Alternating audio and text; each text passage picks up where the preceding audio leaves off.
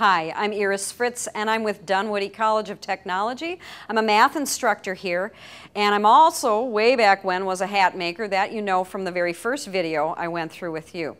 So right now, this being the third installment of Understanding the Circle, I want to talk to you about radian measure versus degree measure and how they mean exactly the same thing. Two different ways to measure the same thing.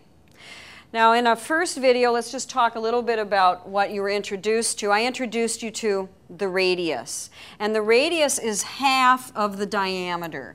It measures from the center to the outer edge. And it's also a way that we actually start to introduce what we later refer to as radian measure, measuring with the radius. So if you look at the word, the first part of this word radian starts with radius or radii which is mean, meaning that we're talking about measurement using the radius. Now, there are two different ways to measure a circle and the distance around it. You know that the distance around the circle, meaning I'm walking around it, is measured and called circumference. So circumference is indeed equal to 2 times pi times r. And I showed you where that came from. I also taught you in that first video where pi came from. The other thing I want you to notice is there's another way to measure, if you will, walking around this circle. And now I'm just going to strictly talk about it as the distance.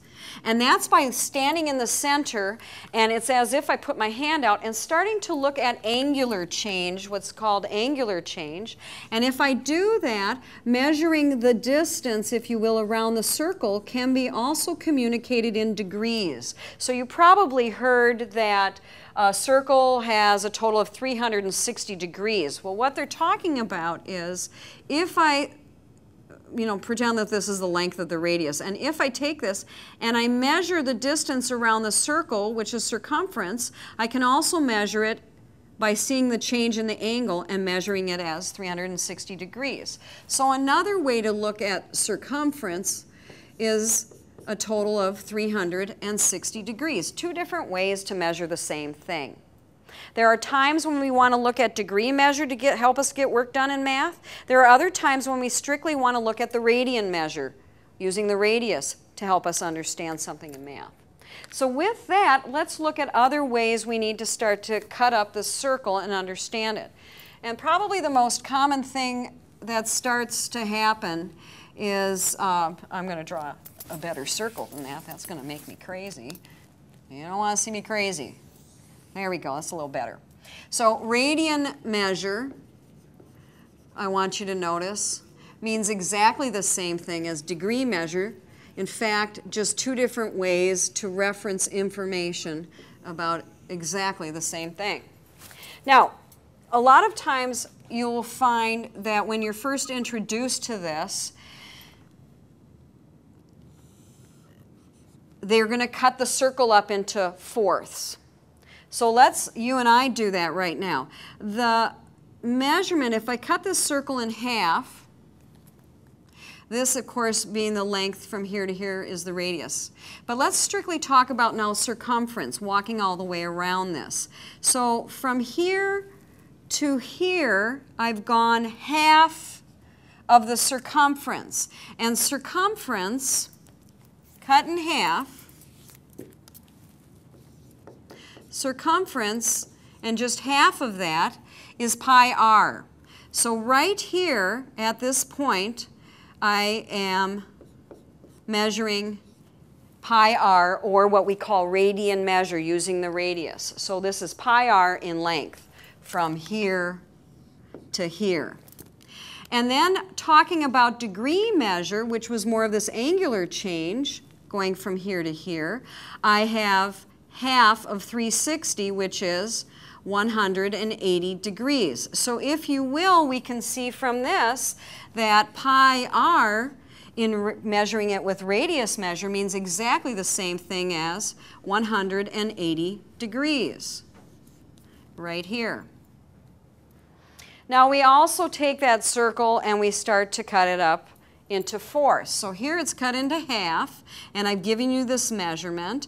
And now let's go ahead, and I'm just going to erase this line to continue our conversation. And I'm going to look at the measure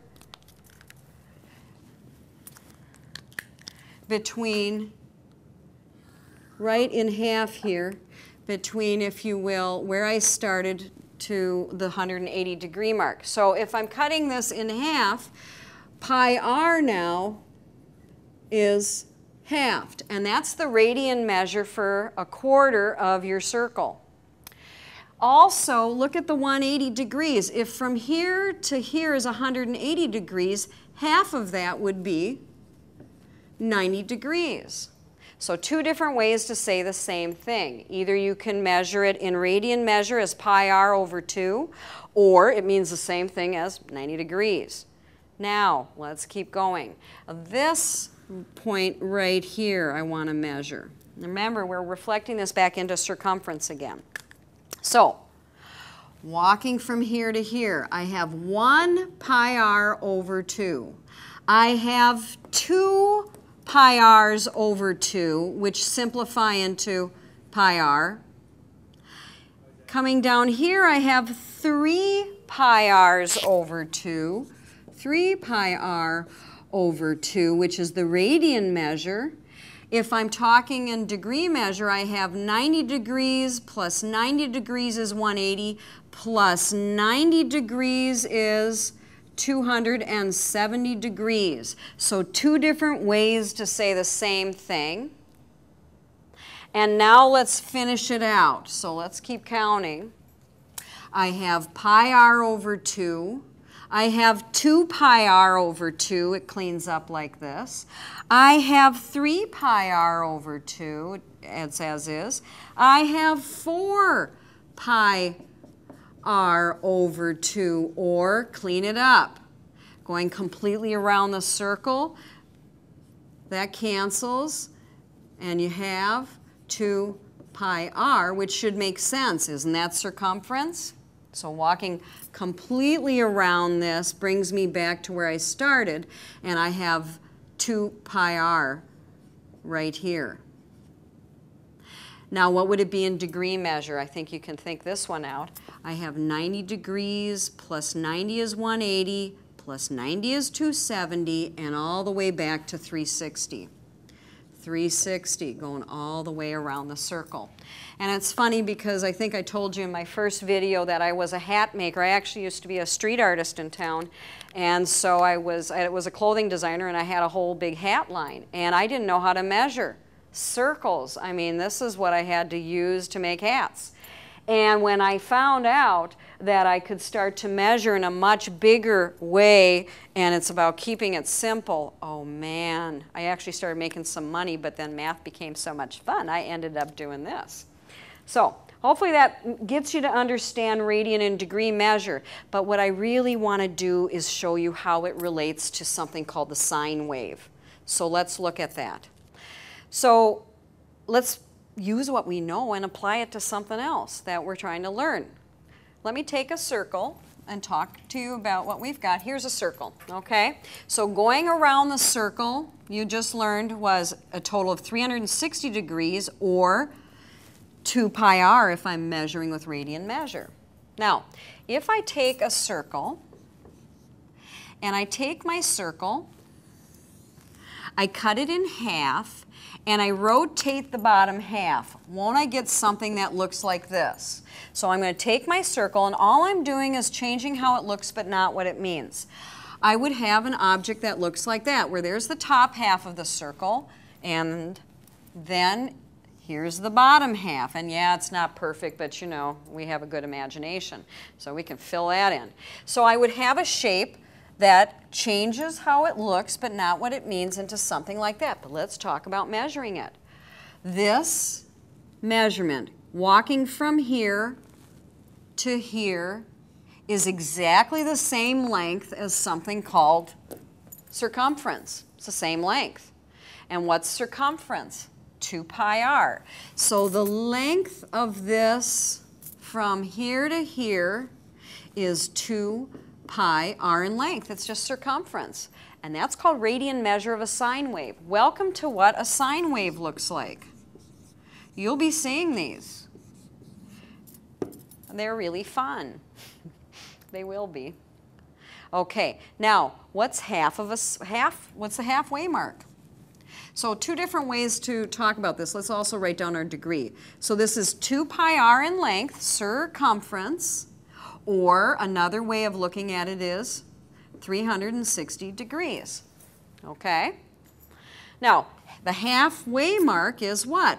2 pi r, 2 pi r, cut in half, cleans up to giving me the halfway mark. It's just pi r, isn't it? And that's the radian measure. What's half of 360? 180. That's the degree measure. They mean the same, two different ways to say the same thing. Coming up here, half of pi r is right up here. And half of pi r is written this way. It's half of pi r, pi r cut in half. Down below, what's half of 180? 90 degrees. So these are two different ways to say the same thing. One in radian measure, one in degree measure. Now, this is the one that we've got to walk to, if you will, and think out. So let's do it. Let's first do the degrees. 90 degrees plus 90 degrees is 180, plus 90 more is 270 degrees. Let's now talk radian measure. I have 1 pi r over 2. I have 2 pi r's over 2, cleans up like this. I have 3 pi r's over 2, 3 pi r's over 2. I have 4 pi r's over 2, and 4 pi r over 2 is the same as 2 pi r. And that is quarter measure of a sine wave. And it lets you have good footing into what then becomes a lot of work taking degree measure and converting it into radian measure and radian measure back into degree measure. And that will be the next video. So keep your eyes open for that because I'll teach you that in a very nice user-friendly way. Thanks for joining us.